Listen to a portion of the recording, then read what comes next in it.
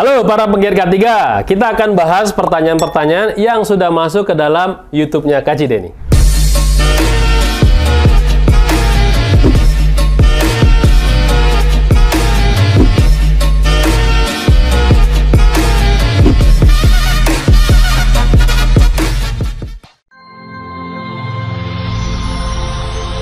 Video ini dipersembahkan oleh Mediatama Academy.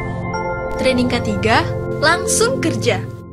Oke, pertanyaan pertama terkait dengan ini ada pertanyaan, Pak, bagaimana kalau misalkan ada sertifikat yang tidak bisa ditelusur melalui teman K3?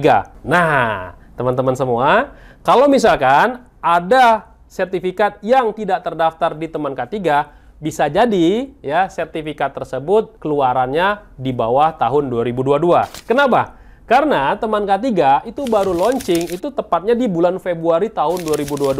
Jadi misalkan teman-teman pelatihannya tahun 2020 atau 2021 atau bahkan 2017, 18, 19 itu mungkin bisa jadi tidak ada di teman K3. Tapi nih kalau misalkan teman-teman semua mengupdate terkait dengan SKP dan lisensi itu pasti akan muncul. Contoh nih, misalkan teman-teman pelatihannya 2020 ya, 2020 berarti expirednya 2021, 22, 23. Nah, berarti teman-teman 2023 harusnya sudah mengupdate ya. Nah, itu akan muncul loh teman-teman. Akan muncul di teman K3 baik melalui website ataupun melalui handphone. Nah, untuk telusur asli atau tidak, teman K3 per Januari 2024 juga sudah meluncurkan aplikasi teman K3 melalui Play Store atau Android kalau yang iPhone belum ya. Nah, di dalam aplikasi tersebut nanti akan ada tombol QR code yang bagian tengah. Untuk ngecek asli atau tidaknya, teman-teman bisa menggunakan tombol tersebut untuk scan QR code yang ada di SKP atau lisensi tersebut. Dan ingat, QR code-nya itu harus terbitan di atas 2022. Tapi kalau sertifikatnya di bawah 2022, QR code-nya nggak kebaca teman-teman. ya. Nah, QR code yang bisa dibaca oleh aplikasi teman K3 adalah sertifikat ataupun lisensi yang keluarnya setelah tahun 2022. Nah, pertanyaannya, gimana nih menjelaskan ke HR atau ke panitia lelang terkait dengan keaslian sertifikat teman-teman semua. Yang pertama, teman-teman harus yakinkan dulu nih, teman-teman sertifikatnya asli, bukan nembak ya. Nah, itu penting banget ya teman-teman semua ya. Nah, kalau emang kita bener nih ya, kita cek dulu loh.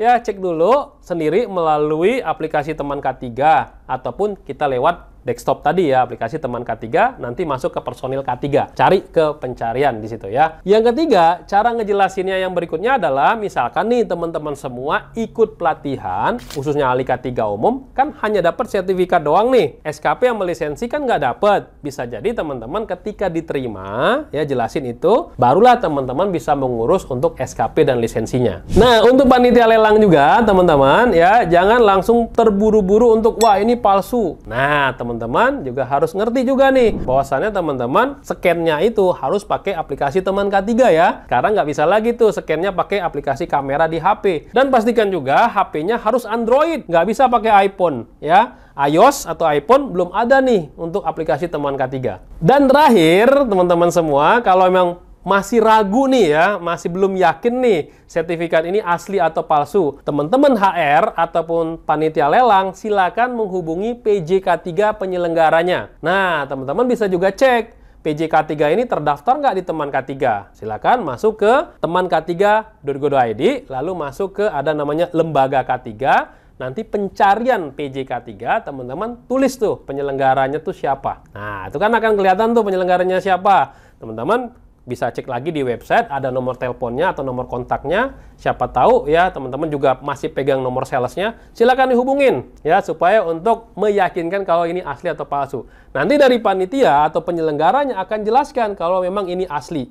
Bisa jadi misalkan sertifikat itu keluarannya di bawah tahun 2022 nah ingat ya kalau di bawah 2022 harus diupdate SKP dan lisensinya supaya tayang di teman K3 dan di pencarian teman K3 melalui aplikasi. Oke, itu aja informasi dari saya. Kalau misalkan teman-teman semua masih bingung, silakan tinggalkan ada pertanyaan di bagian bawah komen ini ya. Kalau misalkan video ini adalah video menarik, silakan di-share ke teman-teman yang lain.